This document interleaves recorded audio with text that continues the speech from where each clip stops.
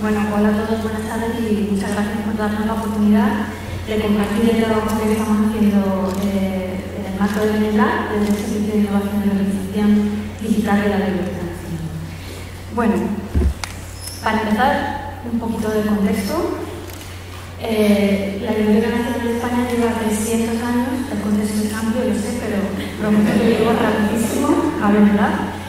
Eh, llevamos desde siglos escribiendo, identificando, dando acceso al patrimonio conserva que se calcula en torno a 35 millones de piezas.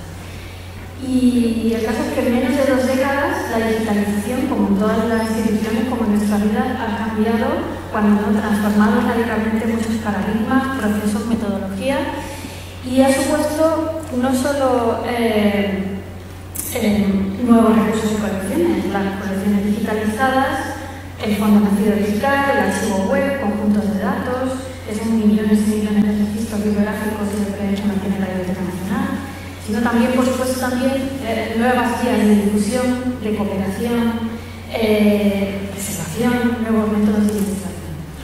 Pero muy pronto en ese camino de la digitalización, que no hace tanto que empezó de manera masiva también en la Biblioteca Nacional, empezamos a pensar no solo en contarlo, difundirlo, sino eh, qué cosas nuevas se podrían crear a partir de él, ¿no? cómo podía contribuir a la generación de nuevo conocimiento, a la participación ciudadana, a la colaboración y demás. Así que, eh, aprovechando y a partir de todos esos nuevos recursos digitales que teníamos, empezamos a pensar en una nueva estrategia y un nuevo camino de, y una nueva línea de trabajo.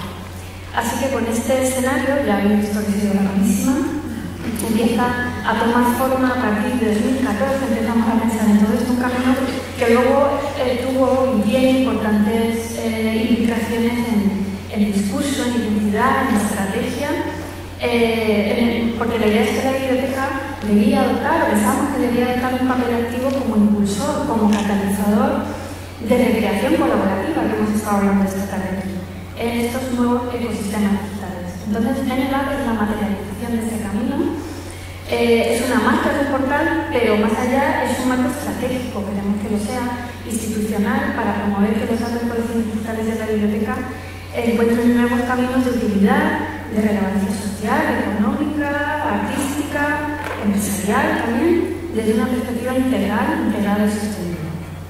El impulso a la utilización digital es, por tanto, línea estratégica ya desde 2015 está integrada en la estrategia global de la institución, esto es muy importante, y además sido acompañada con el marco normativo que se fue eh, desarrollando a partir de esos años, para la, el impulso a la reutilización de la información del sector público. Bueno, en el vídeo de presentación del portal que tenéis en la web eh, yo creo que muy bien contada de manera muy inspiradora, eh, esta idea que nos hacíamos al poner el nacimiento de Benelao. No lo voy a verlo en la web. Si no llego a, si no me sirvan al final, podemos ponerlo, pero tengo un poco de miedo de, intentarlo, porque quiero contar muchas cosas. pero bueno, yo creo que eh, incluso viendo los años después de que empieza todo esto, yo creo que se sitúa muy bien la idea de que más allá de la sede física, ¿no? que tiene una imagen muy potente, la Biblioteca Nacional, eh, los nuevos ladrillos de la Biblioteca Nacional son digitales y que entre todos la estamos construyendo y recreando, que es lo que queremos lo que queremos y en eso estamos trabajando, porque el patrimonio que ahí se preserva eh, para el futuro, ahí estamos todos. Bueno, esa es la idea. Y en ese marco eh, son varias las líneas de acción que ya hemos ido desarrollando a partir de 2018 así, y proyectos de distinta profundidad de alcance, pero una de las primeras y más importantes que sigue siéndolo, y vamos a seguir trabajando mucho en esto, tiene que ver con el trabajo con los datos que genera la biblioteca. Porque la Biblioteca Nacional eh, y el sector bibliotecario en general es productora masiva de datos normalizados, estandarizados, interoperables. Y no solo sus datos bibliográficos y de autoridad, sino vocabularios normalizados, estadística, bibliografía, directorios y por supuesto los textos digitalizados. Tiene un inmenso, un potencial inmenso y muy diverso. Pueden hacer muchas cosas con eso todavía. Eh, todos estos datos estaban ya disponibles se, podían descargar en formato bibliotecario y tenían licencias SSL hace muchos años ya en la Biblioteca Nacional. Pero claro, había que hacerlos accesibles, utilizables, trabajables. ¿Quién puede trabajar con un fichero de, 6 millones de registros? ¿no? Y quien que no conozca un formato bibliotecario puede hacer eso, puede trabajar con eso realmente. Entonces, lo que hicimos fue analizar todas estas fuentes de datos en la Biblioteca Nacional, los mapeamos, los segmentamos, convertimos en formatos abiertos utilizables, CSV, JSON, XML, Nos ayudaron gente que ya estaba trabajando con estos ficheros masivos de datos y los publicamos en plataformas eh, Aquí hay 300 datasets eh, mantenerlos es un trabajo duro eh, y están referenciados desde, desde los ecosistemas y contienen información detallada de mapeo, posibilidades de, utilización y reutilización, contenido y demás. Ahora, eh, donde estamos es en un proceso de evaluación de, de, de evaluación de todos esos cuáles se utilizan, cuáles no, cómo se pueden utilizar mejor, cómo podemos darle más visibilidad, porque ya digo que es un trabajo inmenso que hay que hacer para mantener eso actualizado y servir, vamos. Em, pero además una consecuencia de este trabajo es interesante mirar hacia el interior, porque eh, utilizando todos esos formatos de tratamiento masivo, hemos aprendido a mirar a nuestros catálogos de otra forma, a hacernos preguntas como se las haría un, un, investigador, a interrogarlas a estos datos bibliotecarios con esas nuevas herramientas y de esa nueva mirada. Entonces, hemos hecho muchas preguntas internamente sobre qué datos incluimos en nuestro registro que son larguísimos, pero de repente nos encontramos que no hay un metadato como mmm, nacionalidad español. Pero ¿cómo no hay ese metadato? Entonces, nos hemos hecho preguntas muy básicas que nos hemos hecho muchas veces, pero eh, esa idea de siglo nuestro catálogo para responder esas preguntas utilizando ese tipo de herramientas. Y también, eh, ¿por qué elegimos unos otros no? Nos lleva a plantearnos cuestiones de sesgo que ahora que nos planteamos proyectos de inteligencia artificial es muy importante también conocer y reconocer. ¿no? Y bueno, también a partir de aquí, con herramientas como más, Tableau, estamos experimentando un poco en visualizaciones para mostrar qué se puede hacer con esos ficheros, cómo se puede mirar a, los datos de nuestro catálogo. Por ejemplo, esto es una, lo otro era el directorio de bibliotecas y bibliotecas españolas que mantienen la biblioteca. Esto es una visualización de una guía turística, esto lo hicimos en verano para una de difusión aquí un estudio que estamos haciendo sobre materias de, eh, en las publicaciones del Tratado de Biblioteca Nacional por año. se pueden sacar conclusiones muy interesantes sobre cómo evolucionan a lo largo de los siglos, los años de los siglos, las áreas de interés, de conocimiento a partir de las publicaciones y de la producción editorial que tiene la biblioteca Y bueno, esto no está aquí, además tiempo incluido, pero como proyecto reciente y de, eh, de gran impacto en el uso de estos datos, los datos del archivo web en concreto. Está María, no sé si lo conocéis, que es el primer sistema masivo de inteligencia artificial en lengua española que hemos hecho con el Centro Nacional de Supercomputación de Barcelona. Y con ello se ha creado un modelo lingüístico que por volumen y capacidad sitúa al español ya en el tercer lugar, después del inglés y el mandarín, y está publicado en abierto el modelo para su utilización.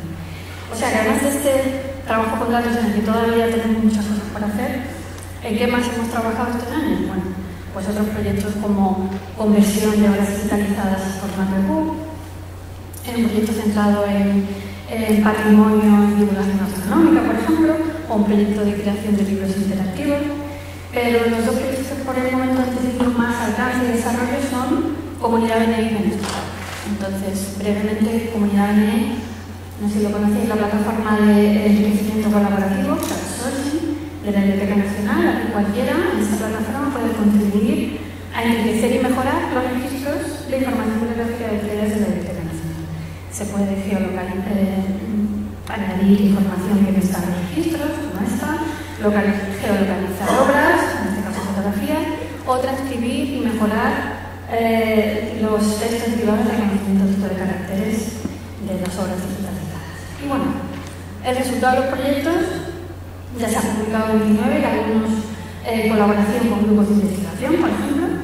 Estos datos se validan e integran en los catálogos de la biblioteca y en este caso, por ejemplo, esto es, un proyecto de referenciación, con eso podemos generar fácilmente visualizaciones o en otros casos podemos generar nuevos formatos. Aquí un IPAP creado a partir de un proyecto de transcripción colaborativa de un griego poético del siglo XVI.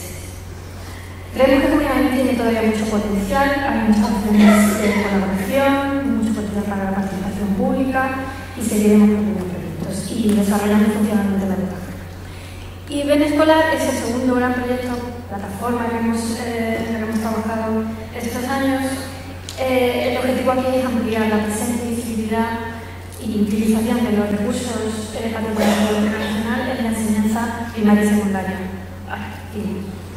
Eh, entonces, eh, lo que hemos hecho ha sido elaborar y elaborar los recursos educativos con distintas propuestas metodológicas, temas, formatos, hay un poco de todo para llevar las colecciones patrimoniales al aula, pero también sobre todo para llevar la reflexión sobre la importancia de las fuentes primarias de información y conocimiento, sobre la importancia de la preservación de la memoria, de las bibliotecas. O sea, lo que de este proyecto y la idea es que los propios docentes, los propios alumnos cojan el testigo y creen con esta herramienta nuevos recursos, no que seamos nosotros quienes lo creemos internamente, aunque sí queremos, pero esa es la idea.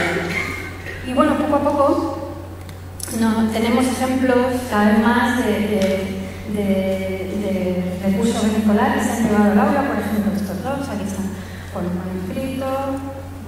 Eh, antes ha faltado otro, pero bueno, teníamos varios ejemplos. Y aquí uno, este del Conservatorio de Valencia, donde han creado un nuevo, un nuevo recurso que es una prensa histórica y música. Han sonorizado, han convertido en podcast eh, noticias de la prensa histórica relacionadas con la música. Y bueno, en eso estamos y en eso seguimos. Aquí es un collage que han hecho con fotografías. ¿Y en qué estamos ahora, trabajando? ¿Y qué cosas tenemos proyectadas? Bueno, lo primero, estamos en pleno proceso de reevaluación y reconfiguración de toda la infraestructura, porque necesitamos actualizar, optimizar, unificar el entorno, asegurar la sostenibilidad de todo el ecosistema digital de la biblioteca, que ya en estos años, que se ha crecido mucho y en muchas vertientes, pues ya es eh, muy amplio y muy complejo. Entonces, eso también sostenibilidad, asegurar que tiene sentido la infraestructura tecnológica que estamos poniendo en pie, ¿no? y que somos capaces de sostenerlo. En cuanto a reutilización de datos, eh, estamos trabajando en mejorar la, la, gestión de todos esos datasets que tenemos ahí, que es difícil de mantener, queremos automatizarlo, crear nuestro propio, o sea, un portal de datos abiertos propio, asegurar su integridad y ampliar sobre todo las posibilidades de acceso eh, para que se puedan explorar mejor y interrogar mejor a toda esa cantidad de ficheros que hay. Y muy importante también, tenemos nosotros que seguir también formándonos en el ámbito bibliotecario. Eso es esencial porque necesitamos dar respuesta a las nuevas necesidades de investigación digital. Nosotros tenemos que ser los primeros que sepan utilizar o saber para qué sirven todas estas herramientas y cómo se pueden utilizar.